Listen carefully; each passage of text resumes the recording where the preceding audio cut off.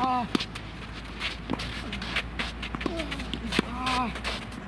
går ikke inn og møter,